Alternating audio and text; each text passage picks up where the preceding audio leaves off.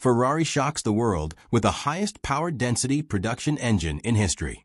Beneath that carbon fiber skin lies a marvel of engineering. We're talking about a combined 1,184 horsepower. But how did they pull off this madness? Today, we'll break down this engineering jewel and stay until the end to find out its price. This isn't just a powerful engine. It's an entire ecosystem of innovation.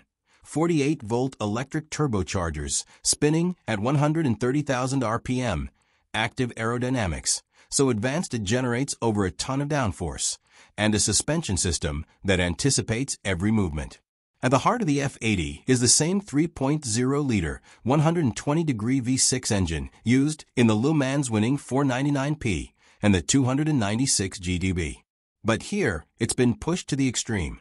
This engine uses two 48-volt electric turbochargers, producing an astonishing 3.7 bar of boost pressure, the highest ever seen in a production car. To put it into perspective, the new Porsche 911 GTS T-Hybrid, with a larger engine, produces 133 horsepower per liter. The F80, with a smaller V6, blasts out 296 horsepower per liter from the combustion engine alone, for a total of 888 horsepower.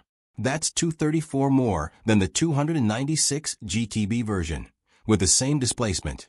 And all of this while maintaining the same engine weight, thanks to extensive use of titanium in key components. Ferrari's in-house electric motors power the front axle, spinning at 30,000 RPM, faster than Formula E motors. Each delivers 148 horsepower, bringing the total system output to 1,184 horsepower. The F80's aerodynamics are insane. At the front, there's an S-duct that feeds a tri-wing, channeling processed air through an opening in the hood. That air is precisely directed over the cabin and beneath the rear wing. At the same time, two vortex generators under your feet sculpt airflow along the doors. Want more? Two small openings beneath the front splitter draw air into the front subframe. The aluminum crash rails? They're hollow. Air flows through them to cool the massive front CCMR Plus brakes taken straight from the 296 Challenge race car. Huge NACA ducts on the doors and rear bodywork feed the engine, rear radiators, and brakes. The massive rear diffuser, which starts beneath your feet, rises toward the back. And to achieve the optimal angle, the engine and transmission are tilted one degree upwards. Three barge boards per side underneath the front section extract dirty air to optimize diffuser performance. All of this is supported by 48-volt Multimatic dampers that not only keep the F80 flat through corners, but also ensure it maintains an aerodynamically ideal ride height.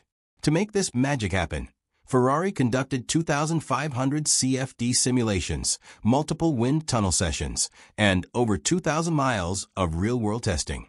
The result? 1,012 pounds of downforce at the front axle and 1,298 pounds at the rear. The braking system is brake-by-wire, meaning there's no physical connection between the pedal and the calipers, ensuring millimetric precision. And to make sure all that power hits the tarmac, the F80 wears Extreme Performance Michelin Pilot Sport Cup 2R tires, developed for motorsport, with a whopping 27 different rubber compounds. And finally, the price, for million dollars.